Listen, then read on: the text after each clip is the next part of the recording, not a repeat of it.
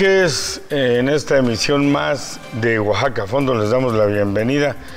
Qué rápido se ve el tiempo. Ya llevamos varios temas importantes tocados aquí. Los temas de 68 con Sócrates Campos Lemus. Hemos hecho programas de seguridad pública.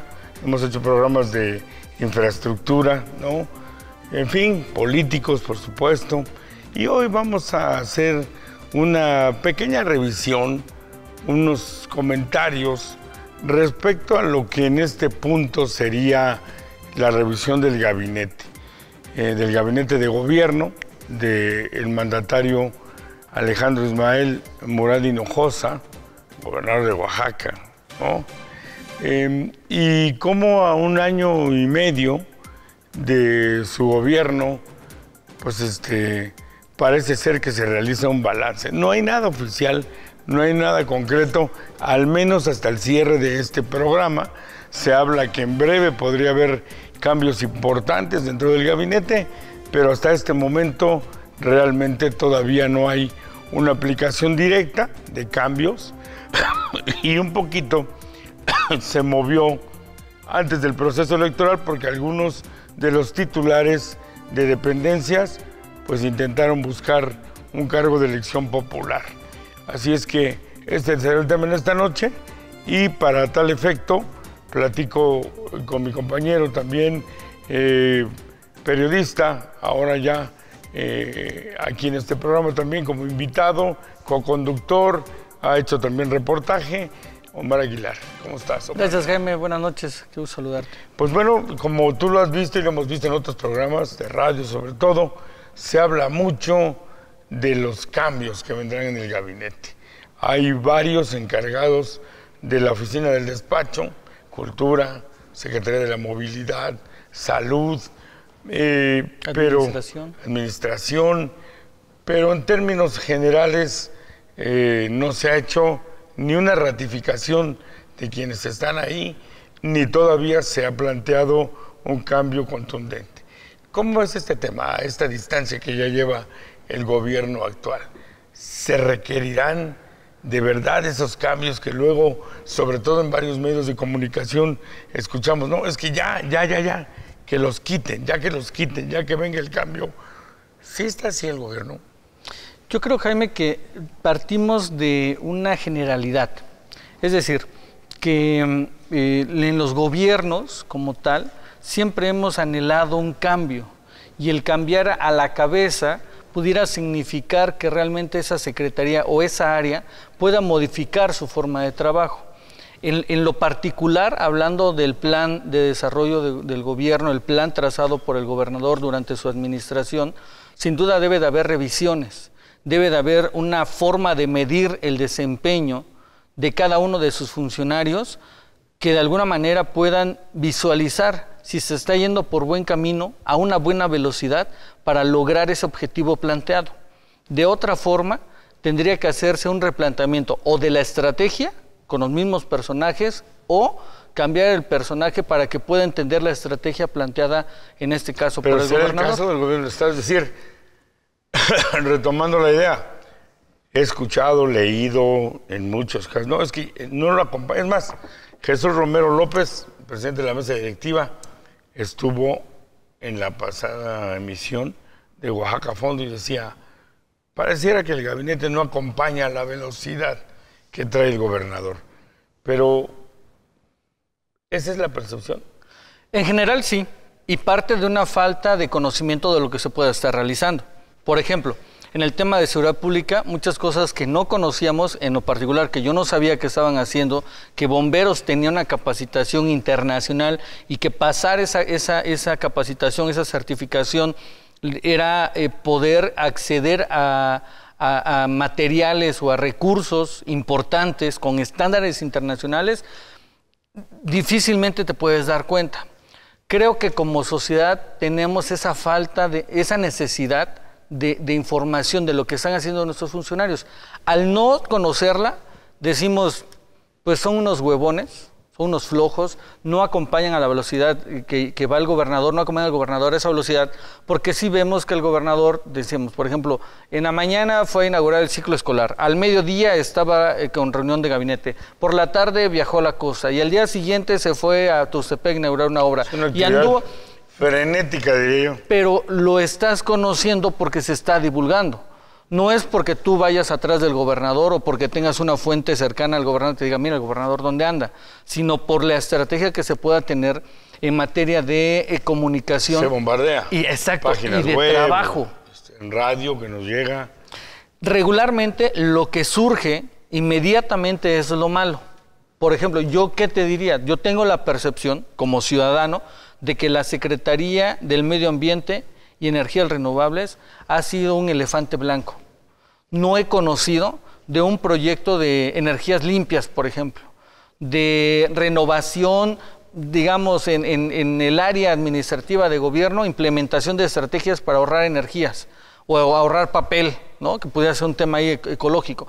O en general saneamiento de los ríos, eh, mantos acuíferos, este, pesca, flora, fauna no conozco y por lo tanto yo tengo la percepción que esa secretaría, con su titular, Calvo Siga, José Luis Calvo, Siga, es un elefante blanco y es una eh, secretaría que nació que además es nueva, y que ¿eh? no ha operado. Pero a ver, a ver, Omar, a ver, yo, yo anoche, eh, bueno, estos días platicamos de esto también en radio y por eso lo estamos trayendo ahora a este programa de análisis también.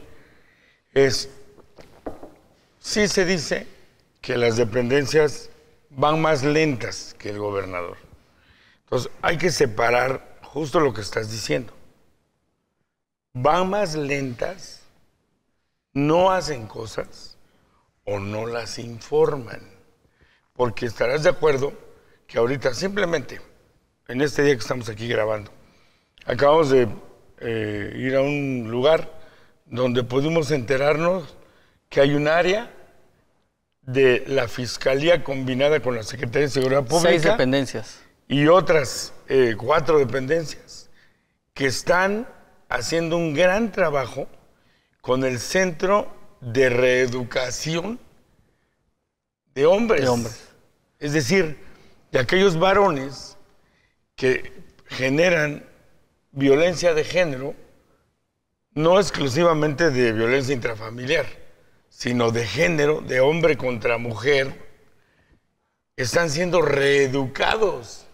O sea, se presta a broma, ¿no? Y que se está... Que les mete unos latigazos. y que además tienen todo un procedimiento, esas seis dependencias, porque no solamente el reeducar, es castigar, perseguir, localizar, prevenir. Y parar la agresión. Y parar la agresión. Y es un estándar o un modelo que nos decían el, país en, Uruguay es el único que tiene un sistema parecido. En, a nivel nacional no hay uno parecido. Entonces se vuelve Oaxaca punta de lanza. Eso no lo conocíamos hasta, que, nos, que nos, platicaron, de manera este, profesa. De manera casual, o sea, no fuimos a buscar esa información, estábamos en otro tipo de evento cuando nos empezamos a enterar.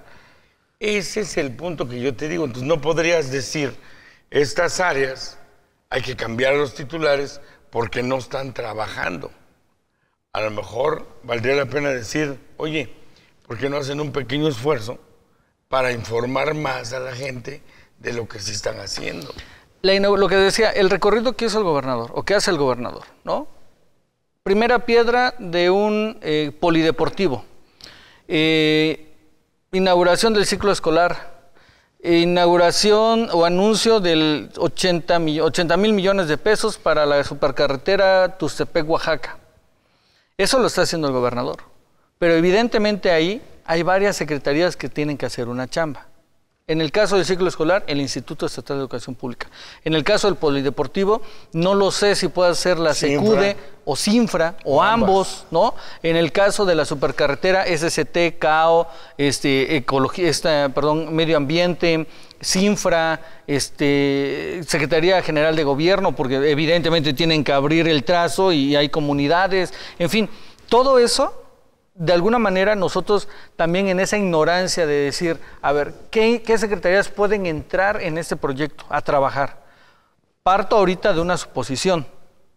¿no? Pero no hay que me diga la Secretaría General de Gobierno, nosotros participaremos, al ser el anuncio del gobernador de esto, nosotros participaremos en esto, cifra en aquello, este, ecología en esto, e incluso salud, no sé, o sea, las dependencias que al final de cuentas hacen un cuerpo interdisciplinario para poder ejecutar una orden o un proyecto y más aún con el gobierno federal, ¿no? Sin duda. Con el gobierno federal. Y luego ya viene, si es una supercarretera, no la van a terminar de aquí a diciembre. Evidentemente, tendría que haber ya una plática e incluso con la gente del gabinete del presidente hay un ejemplo importante aquí en el que las pasadas fiestas de Guelaguetza em, hay un tema ahí importante porque hay voces que dicen que la Guelaguetza la están comercializando, que es Guelaguetza oficial, porque es del gobierno, este, que no, mm, que deberían de, este, que debería ser para rescatar los valores culturales de las localidades, étnicos y culturales, folclóricos en cierta medida. Eh, por dado que Oaxaca pues, es eminentemente musical, es eminentemente de costumbres, de tradiciones, y entonces se pierde de vista de repente en esas voces que la Guelaguetza fue creada hace más de 80 años, si no me equivoco, luego de que se dio un gran temblor en Oaxaca. Que desapareció media ciudad. La Guelaguetza como presentación de los lunes del cerro, porque la Guelaguetza como concepto es prehispánica en Oaxaca. Es el único estado en el país que tiene el tequio, la Guelaguetza eh, y la ayuda entre la, ayuda la comunidad. La palabra Guelaguetza no tiene una traducción específica. Guelaguetza podría entenderse como un concepto de ofrenda y ayuda mutua. Dar y recibir. Si tú y yo fuéramos de una población determinada, y los que nos ven al interior del Estado lo saben, eh, tienes una boda, eh, una fiesta de tu hija, un bautizo, un velorio. En muchos lugares la gente llega y otorga pues ten estos panes, ten estas cervezas, ten un dinero.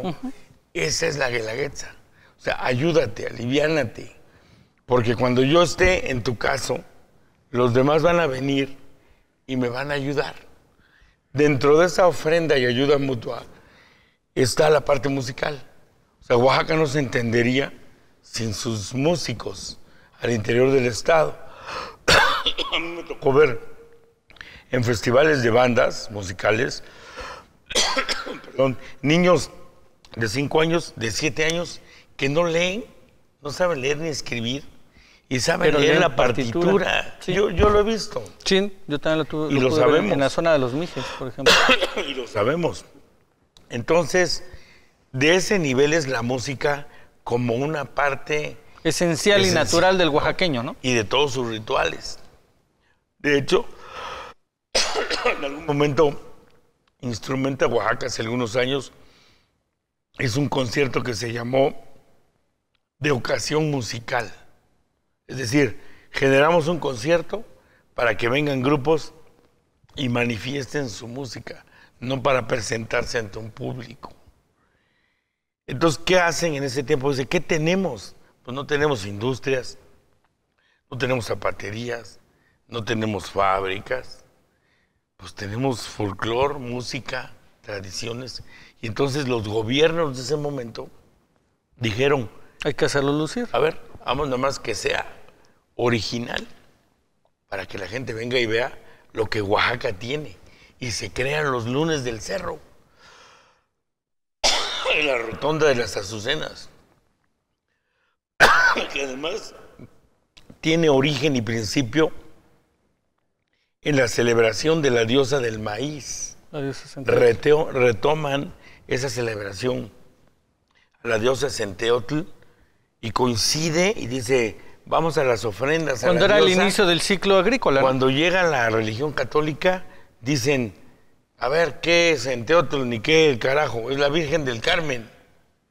Y les quitan, y entonces muchos de los indígenas dicen, pues tú le llamarás la Virgen del Carmen, ¿no? Pero para mí es la diosa Centeotl. Entonces trasciende, hoy se ha convertido en un concurso en donde se elige a una muchacha, a alguien que ahora este gobierno le cambió. Antes era como un Miss Oaxaca, pero en indígena. Y ahora este gobierno le cambió. Dijo, no, no tiene que ser jovencita ni guapa, ¿eh?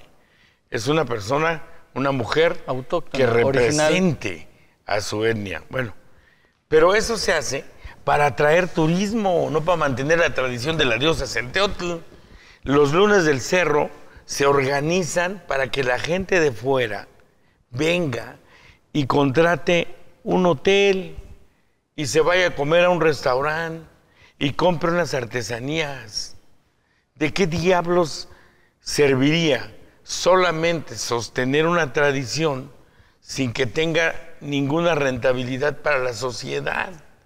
En este caso se le encontró la cuadratura al círculo y dijeron, los lunes del cerro, la diosa Centeotl, son valores culturales que estamos rescatando y sosteniendo.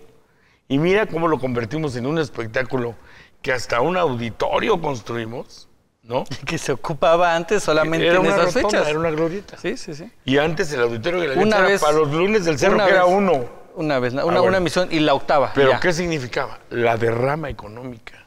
Por eso quienes dicen, no, es que por ejemplo, con todo respeto, mis amigos de la sección 22, que arman su guelaguetza popular, que es la del pueblo, no la oficial, y la hacen con grupos folclóricos de los maestros, cuando... En un estadio, allá en, el, los alebrijes, cuando el lunes del cerro tiene un comité de autenticidad que viaja todo el año para elegir cuál es la delegación que va a venir a hablar y a representar a esa comunidad. Ese trabajo depende seguramente de la Secretaría de Cultura. Ahí te va, que ahí va yo a llegar. ¿Por qué hago todo este preámbulo? Sí, que dices, bueno, ¿y eso qué tiene que ver con el trabajo? Con que los secretarios. ah, bueno. Porque hay un trabajo de todo el año, de varias áreas. En este año recayó una buena parte en la Secretaría de las Culturas y las Artes, lo cual se me hace lógico porque es para ver que lo que se va a presentar, tener la certeza de lo que se va a presentar, viene respaldado por un comité de autenticidad, que sí son gente de la región, que sí son los bailes que se acostumbran cuando hacen la guelaguetza en sus regiones. O sea, su ofrenda y ayuda mutua y utilizan su música y sus bailes para su indumentaria sus costumbres, ¿me entiendes? Sí. Yo soy comité de autenticidad, vengo y digo, a ver, te veo en una fiesta, sí es cierto, a ver, arma tu delegación, tráetela. Fíjate, ¿qué va eso contra que un grupo folclórico baile flor de piña? Que son maestros también. Y que son maestros y que unos son hasta de... Eh, yo soy, de, yo soy de Chiapas y voy a hacer un baile de la costa. ¿no? o flor de piña. Y esta es la original que pasó, ¿no? O sea, así de absurdo es. ¿A qué voy? hay un trabajo que realizó la Secretaría de las Culturas. Y luego la parte para que llegue la gente, la que ya conoce la Guelaguetza y la que no la conoce, se entere en Alemania, en Suiza, en Monterrey, en Campeche, y vengan como turistas a presenciar algo que se ha ganado a pulso, la denominación del espectáculo más esplendoroso de América Latina, que es la Guelaguetza, con sus lunes del cerro, que ahora ya son cuatro, emisiones. Y los cuatro se llenan. Bueno, ¿quién hace esa labor de difusión? Turismo. Yo pregunto, ahí te va. ¿Fueron exitosas o no estas fiestas 2018? Yo creo que como nunca. Como nunca. O sea, la gente, y realmente era un ambiente de fiesta, la gente abarrotó las calles. A todas horas había mucha gente en Desbordado. Sí. Turismo nacional e internacional. Y entonces yo te pregunto, ¿trabajarían o no las secretarías? Sin duda. E incluso también pudiera haber entrado un trabajo de la Secretaría de Economía para los negocios. Y la Feria del Mezcal. Para preparar a los negocios y recibir esa gente. ¿Con qué? Con capacitación, con mejoras. Te, voy a decir algo simple. Se acaba de realizar en esas fiestas de Guelaguetza la vigésima primera feria del mezcal. Vigésima primera. O sea, van 21 años que se realiza la feria del mezcal en Oaxaca. ¿Qué ¿Cómo se te hizo que fue la feria? ¿Exitosa o...? exitosa con muchos cambios. Por ejemplo, me ha tocado estar en otros años, presenciarla, y se le rompió una, el cartel de grupos, por ejemplo, lejos de que fuera música eh, De eh, bandas y comercial. comercial, se fue más a lo regional, ¿Y qué tal funcionó? con un lleno total. Hubo, en un día, hubo 8 mil personas que entraron. En un día En un día. rompiendo el esquema y el boletaje, el aforo de otros años anteriores, que había sido entre 5 mil a 6 mil 500. Mm, Dejó de ser una cantinota. Se le rompió había ese convertido estigma, en una cantinota. ese estigma de, de ser la cantina más grande de Oaxaca en julio. Se pudo apreciar otro tipo de cuestiones como el café, que también tuvo un gran éxito. El módulo, el clúster del café, sin duda también repuntó. ¿Por qué? Porque también Oaxaca tiene un café de altura y con el sabor y estándares Y extraordinarios. Y la agroindustria creo que se consolida en este año. ¿Por qué? Me tocó platicar con algunas personas que, que fueron a exponer sus productos y muchos de ellos, 15 tal vez de los que estaban ahí, se habían unido en una asociación y llevado sus productos con impulso gubernamental, hay que decirlo, a través de la Secretaría de Economía, a Estados Unidos y poder hacer una presentación de los productos eh, orgánicos de Oaxaca. ¿A ti te, tocó escuchar cuando yo entrevisté a varias gentes ahí, en para radio? Todos los expositores diciendo, Un- uno que fue por Excelente. su primer año. excelente. ¿Por qué? Porque también es importante reconocer que el año pasado, con todo respeto, nuestro amigo Jesús Rodríguez Socorro, pues traía un desorden espantoso. Ahí llegó un momento en que los, los, este, Los, eh, mezcaleros. ya querían agarrar a golpes a uno de los funcionarios. Y este año fluyó suavecito, limpio, todos contentos. Yo te preguntaría, si te vas al análisis, ¿trabajó o no trabajó, trabajó la Secretaría de Sin duda, en una coordina- planeación, Entonces, coordinación ¿qué- y ejecución. Y además en todo eso la Feria del Mezcal, para terminar, Jaime, es música, artistas locales y regionales, mezcal, Oaxaca, agroindustria oaxaqueña, clúster del, del café, Café. oaxaqueño, cerveza artesanal oaxaqueña. Todos estos puntos engloban lo que tú dices. A ver, ¿es autóctono? ¿Es natural? ¿Es regional? ¿Es oaxaqueño? Sí, todo. Por lo tanto, se da esa, esa- ese impulso Y son negocios. y das a Y conocer, tienen un resultado das a económico y de conocer lo, productividad. lo de Oaxaca. Ahora, entonces, ¿dónde está la percepción de que no hacen nada, de que son torpes, de que ya se tienen que ir? Y no es defender nada. Mira, hay cosas y hay errores muy graves. Ahí está el caso de Lila Downs, eh, con Cultura. Digo que Cultura y Nacho Toscano, Ignacio Toscano, trabajaron durísimo. Sin embargo, hubo cosas, ¿no? Se, se saca el portal de transparencia cantidades de dos millones, dos millones y medio, creo, que dicen que le pagaron a Lilia o se gastaron en Lilia. Lila, Lila, Lila Downs, cantante para su concierto, ese es el caso de ella en específico, y sale su esposo Paul Cohen y dice, no, no es cierto, ¿de dónde saca la, la Secretaría de las Culturas que me pagó eso? A mí no, a nosotros no nos pagó eso. Y entonces genera una bola de nieve que se están transando, están inflando los conciertos. con eso embarran el buen trabajo, el buen de, desempeño de, de una todo el tiempo, de todo, ¿no? Porque además hubo, hubo boletos, hubo conciertos en medio, rock sinfónico, Lila Downs, Ángeles Azules, que por instrucción del gobernador tuvo que generar una función más porque estaba hasta el gorro. O sea, abarrotado, creo que el de Manzanero no estuvo tan lleno, pero finalmente estuvo Fernando del Amor en la Nunca, Plaza de la nunca hubo un, un cartel entre lunes y lunes tan como grande este como este y exitoso.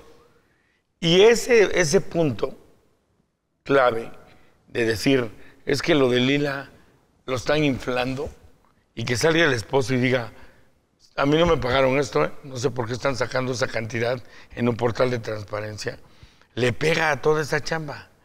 Y volvemos a caer al punto, antes de irnos al corte, volvemos a caer al punto que estamos hablando. No trabajaron, O son Sí. tranzas. Sí.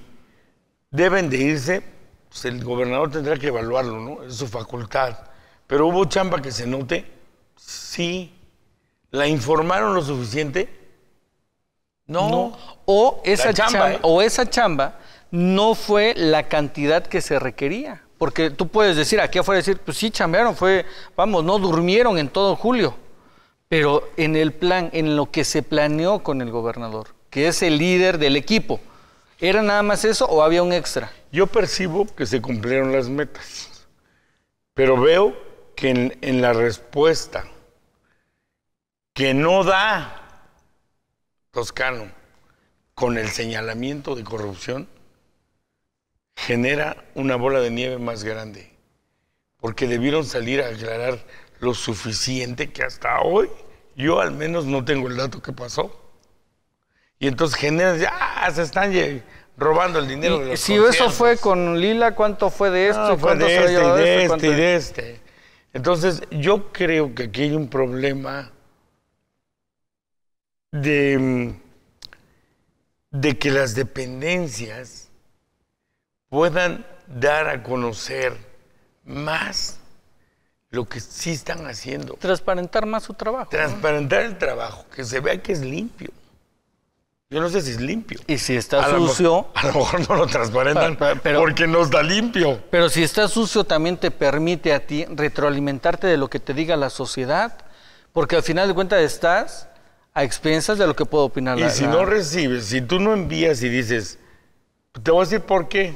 Yo tengo un amigo funcionario, secretario, que dice, mira, yo trabajo, yo entrego las cosas, van y las revisan y ahí están.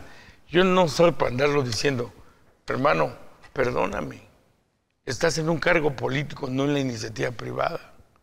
Y te toca ser, como se comenta que debe ser la esposa del César, no solamente debe ser virtuosa, debe parecerlo, ¿no? Y Entonces, parecer hay que parecer. parecer tú tienes que decir, a ver, construí esta taza, aquí está, mira, es blanca, tiene un asa y me costó tanto.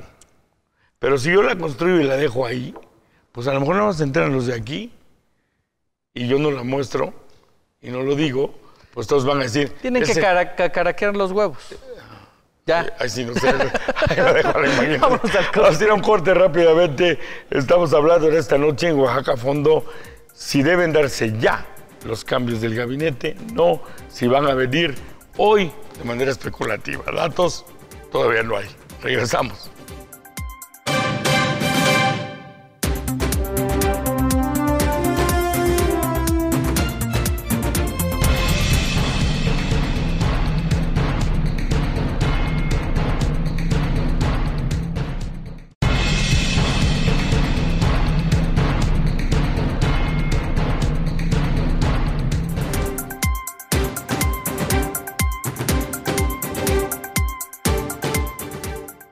Continuamos aquí en Oaxaca a fondo. Estamos en una charla, Omar Aguilar y yo, sobre estos temas. Si no sintonizó antes, acaba de sintonizar, o no desde el principio.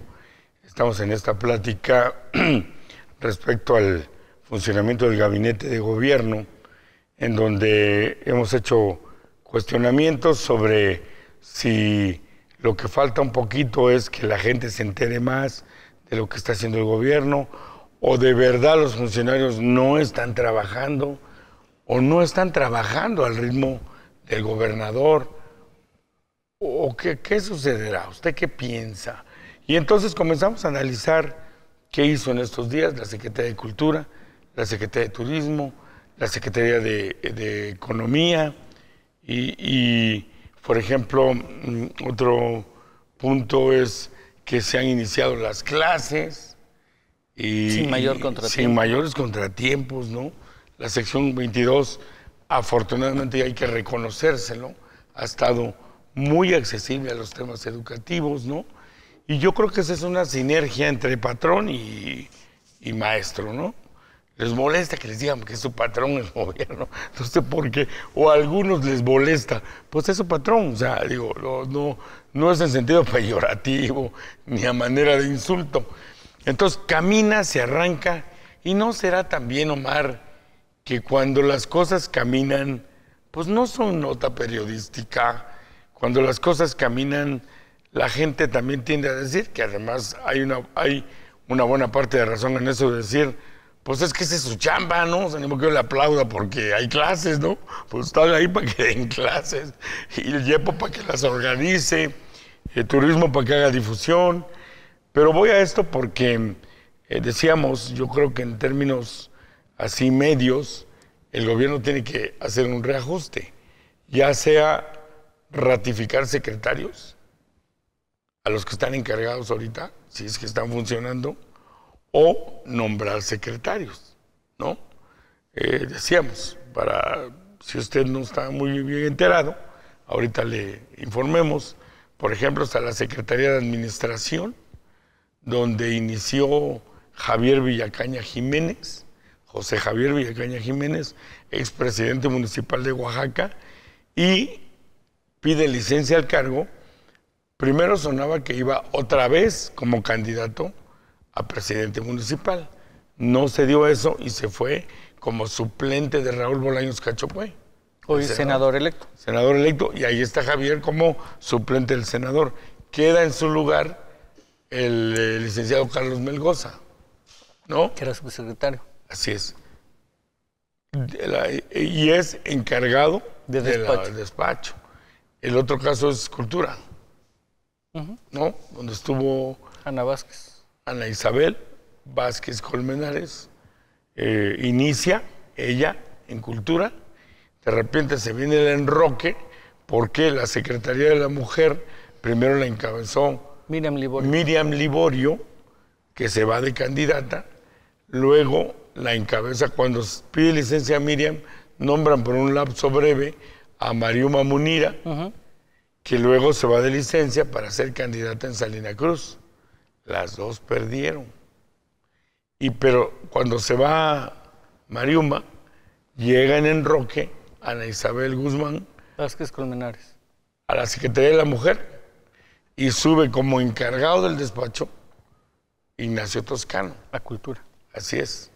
El otro es la Secretaría de la Movilidad, donde Francisco López, conocido como Paco Pisa, eh, es nombrado secretario de Vialidad antes de que se convirtiera en Secretaría de la Movilidad y él deja el cargo y, nosotros pensamos todos, y creo que hasta él lo dijo, ¿no?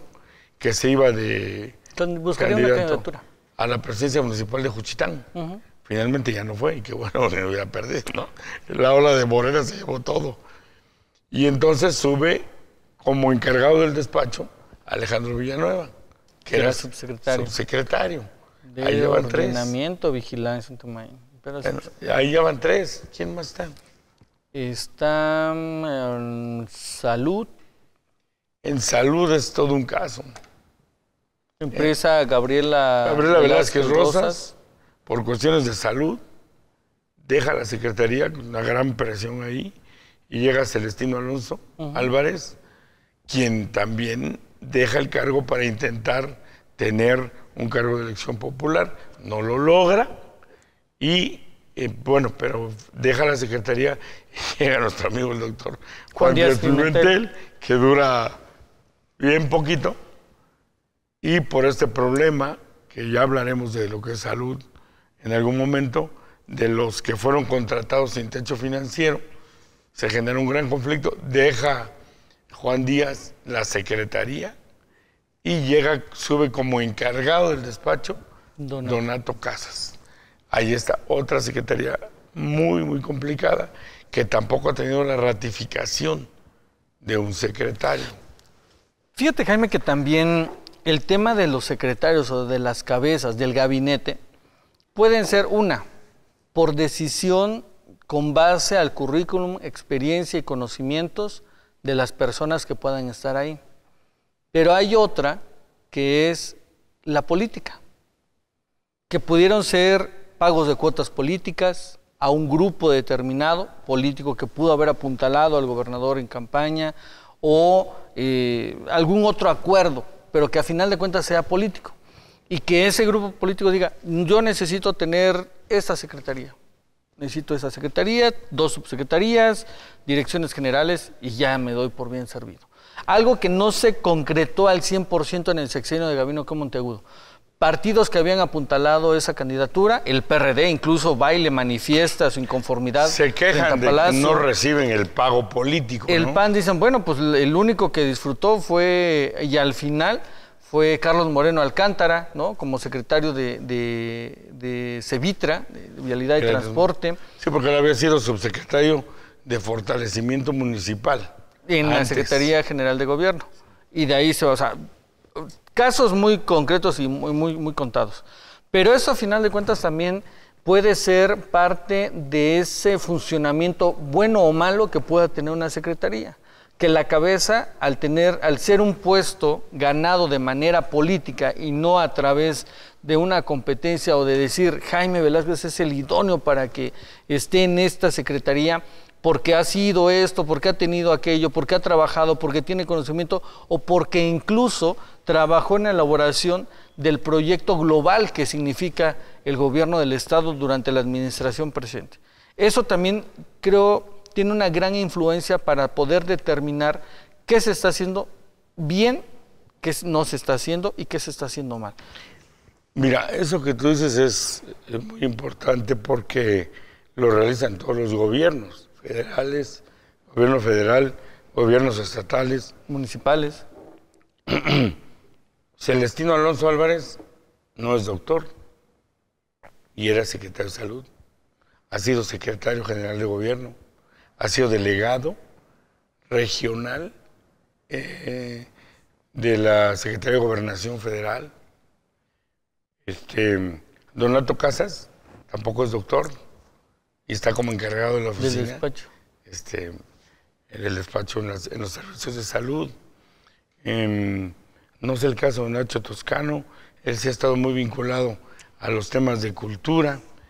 En fin. Bueno, Alejandro Villanueva, una trayectoria de transportistas.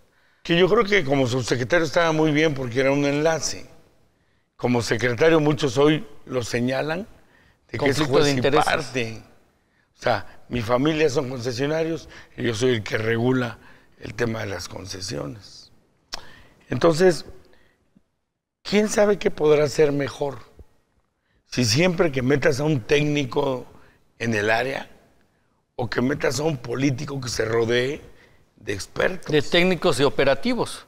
Porque no, necesariamente tienen que ser solamente técnicos. Puedes tener toda la teoría, armar un proyecto ejecutivo, las mejores estrategias, estar a la vanguardia, pero si no tienes cómo y quién te ejecute esos proyectos, eso y nada es exactamente lo mismo. Y es lo que pasa un poco con los diputados. Muchos de ellos les dicen, oye, pues debería de haber diputados, una carrera para ser diputados, ¿no? Porque unos llegan y no saben ni pero la clave es que ellos pueden tener una serie de asesores en materia legislativa y legal que les permitan jalar la sensibilidad del bloque social que representan y darle una forma Transformarlo, ¿ah? jurídica, ¿no? Yo digo que la política a final de cuentas es así. Por eso este cuestionamiento de pronto de decir, a ver, ¿qué hace un ingeniero en una este, secretaría de agronomía? Y él es ingeniero civil. Pues a lo mejor es un buen político, un buen mediador y tiene cuatro o cinco asesores agrónomos. O su siguiente base es los agrónomos expertos, los, los directores, ¿no? O, directores generales, subsecretarios, como sea el orden en el organigrama, le permita tener esa planeación, ejecución, supervisión y también corrección en un tema administrativo. Él puede ser un administrador extraordinario poner un contador, decir, a ver, para las cuentas, el dinero él, es lo suyo. Pero ¿cómo vas a llevar a cabo las carreteras? ¿Cómo vas a abrir un cerro? ¿Cómo vas a hacer un puente para que no te queden como los que nos heredaron de la administración pasada, por ejemplo, ¿no? O que tengas la certeza que al menos no se va a caer. Ah, pues tengo un ingeniero que es experto en estructuras, otro que tengo experto en esto, la, la, la, y conformamos un bloque interdisciplinario e incluso para poder tener un mejor resultado en la búsqueda del objetivo en común como gobierno. En esencia, y para ir cerrando las, eh, los análisis de este programa, ¿funcionaron o no el gabinete actual? ¿Tú qué opinas? Como ciudadano, porque mira... Creo que tiene sus fallas. déjame hacer una acotación antes de ahondar en esto. De repente escucho a compañeros que dicen, es que debería de estar haciendo esto y esto y esto. Y a veces me van a decir, bueno, tú y, tú por qué dices que debería estar el gobernador, debería de estar. ¿Y tú cómo sabes lo que debería estar haciendo el gobernador? O sea, no porque lo esté haciendo bien o mal, no sé, sino porque viene una crítica sin ese... Ah, si tú vienes y me dices, hablando de este tema, el gobierno del Estado le ha pagado a la empresa de la basura que quitó Que estaba Carlos operando. Siga una indemnización de 10 millones de pesos por la manera en que el secretario despidió, corrió, cortó a la empresa anterior y lo demandan. Ah, ese es otro tema. Ahí sí tienes los pelos de la burra en la mano y dices, ¿qué onda con esto? Y aún ahí tendrías que Gastaste 10 millones de pesos que no debiste haber gastado en eso. por haber terminado mal un contrato. A lo mejor eso incluso, Omar, que como ahorita estamos nada más especulando, tiene una explicación. A lo mejor, ¿eh? Pero si tú recibes la información de lleno, decir, había una empresa que tenía una compactación de basura profesional, que estaba cuidando que no se acumularan los famosos lixiviados, que es El la- líquido de, el- que sale de la basura. el jugo de la Es basura, tóxico. Que es tóxico, que genera Inflamable. gases, que se, que se filtra al- subsuelo e invade los mantos freáticos y se los lleva kilómetros adelante. Bueno, si esta empresa que estaba, son- son ejemplos, ¿eh? estamos hablando de ejemplos, no estamos dando noticias. Entonces, si esta empresa que estaba ahí compactaba, había construido hasta una cancha de fútbol en un área Que antes abajo basura. era basura. Y si esta empresa logró el equilibrio con, las, con los pepenadores y sus sindicatos y sus organizaciones, no sindicatos como la 14 de junio, como el Sindicato Libertad, que ya ve que empezaron a cerrar el basurero. Si está esa, esa empresa y llega un nuevo funcionario, como Calvo Siga, la corta, le dice, adiós, meto otra, y empieza a convertirse el basurero otra vez en un tiradero al aire libre. Empiezan a colarse los delixiviados, otra vez, y empieza el desorden en ese basurero que para acabarla de jorobar ya no sirve. Tienen que desecharlo y buscar uno nuevo. Bueno, si hace eso el funcionario y luego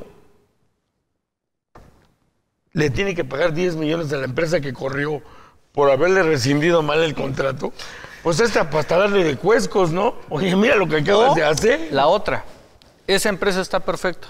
Tenía su compactadora, tenía su cancha, los lixiviados muy a gusto, pero si se detectó que estaba incurriendo en otras fallas, había otras deficiencias y eran motivo estaba- para poder rescindir el o contrato, estaba vinculada a un funcionario del sexenio anterior, ¿eh? Entonces- ese es un poquito el argumento que se manejó ahí. entonces lo das a conocer, lo justificas con información que puedas dar a conocer. No estoy hablando que des toda, sin duda, en el tema de contratación debe de haber. este, Secrecía. Hay secrecía, hay el tema de, de manejo de datos, sobre todo personales, pero das a conocer la información. Hasta una red de vínculos. Mire, aquí está el A, B, C, D, y ese es el, co- el que Y cobraba. entonces no solamente cumples con tu función de funcionario, valga la redundancia, sino que estás haciendo que las cosas fluyan bien. Es decir, por eso lo estamos poniendo como ejemplo. Si yo nada más me voy con un lado y digo, qué mal actuó el secretario, estoy sesgando la información.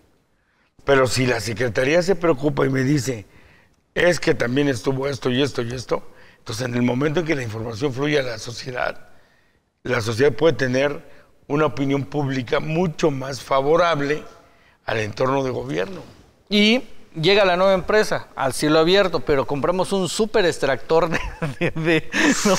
Que lo lleva y lo transforma en. Y otro abajo para los y lo lixiviados. transforma en. Ah, Mejor. ¿no? ¿No? Y el costo-beneficio, a final de cuentas, es, se refleja en el ahorro para, la- para los ciudadanos o para el erario. Y además, con esto vamos a hacer flores con el PET que vamos a recolectar de ahí. Ah, bueno. En fin, la idea fue poner esto del basurero como ejemplo, que estamos de- hablando de hechos que circulan en las redes, que circulan en la información, pero que falta amarrar esa parte y esto sirve de ejemplo para que nosotros veamos por qué de repente hay una incomprensión social de lo que a veces realizan las dependencias. yo no sé si sea una falta de ganas de poder, de querer comunicar. Yo creo que también puede ser lo, lo que tú decías, ¿no? Ese secretario que te dijo, no, pues yo hago mi chamba, a mí no me interesa. Creo que también el estigma de soberbia que tienen muchos funcionarios, es decir, yo soy el señor secretario, yo no voy a hablar con ellos, que son los de abajo, mucho menos con la prole de la prensa. No, manches, no, no, no, qué asco, además Ah, huelen eso, feo. eso no existe. ahí Va. se equivoca. Gracias, Omar, y gracias a usted, amigo televidente, que a través de este canal 9 nos sintoniza en las noches del viernes a las 7 de la noche, domingo a las 9 de la noche y los lunes a las 2 de la mañana. Este, si usted anda chupando en la calle, se puede poner a ver el programa. Y entonces eh, nos da mucho gusto y haber compartido este, una vez más con Omar Aguilar estos comentarios para que usted pues, reflexione y le ayudemos a que tenga más datos para formar opinión. Omar. Gracias, Jaime, gracias, buenas noches. Buenas noches a usted.